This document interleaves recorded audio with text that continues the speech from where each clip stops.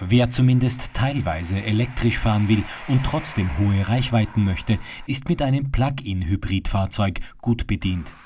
Beim Volvo V60 Plug-in Hybrid können laut Hersteller bis zu 50 Kilometer rein elektrisch absolviert werden und wenn es weitergehen soll, dann übernimmt der Dieselmotor, der auf einen Treibstoffvorrat von 45 Liter zurückgreifen kann.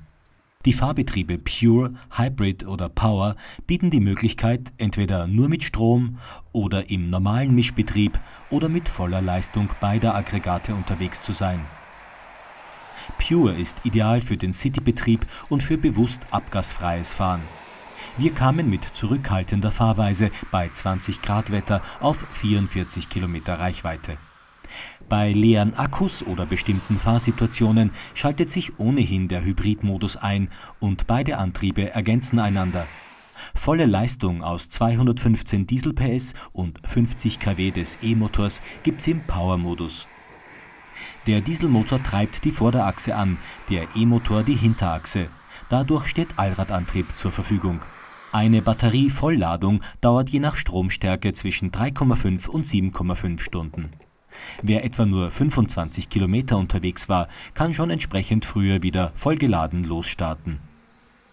Im Alltagsbetrieb kamen wir auf einen Durchschnittsverbrauch von 5,3 Liter Diesel. Nur wer seine Etappen entsprechend planen und daher regelmäßig Strom nachtanken kann, wird den Dieselmotor kaum benötigen und somit die Freuden des elektrischen Dahingleitens genießen können. Wer pro Tag nicht mehr als 40 bis 50 Kilometer fahren muss, kann dies mit dem Volvo hier elektrisch absolvieren und somit den Besuch einer Tankstelle sehr lange Zeit hinausschieben.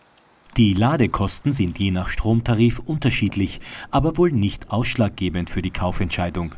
Denn das vergleichbare Modell ohne Hybridantrieb kostet rund 6000 Euro weniger und ist 200 Kilogramm leichter, was überdies dem Spritverbrauch entgegenkommt. Für den Volvo V60 Plug-in Hybrid sind mindestens 57.520 Euro fällig. Dafür erhält man neben der faszinierenden Antriebstechnologie ein hohes Ausstattungsniveau und viel Komfort. Der Kofferraum ist gegenüber dem Normalmodell etwas eingeschränkt, doch die Reisetauglichkeit insgesamt ist dank sportlicher Fahrleistungen und solidem Fahrverhalten sehr hoch.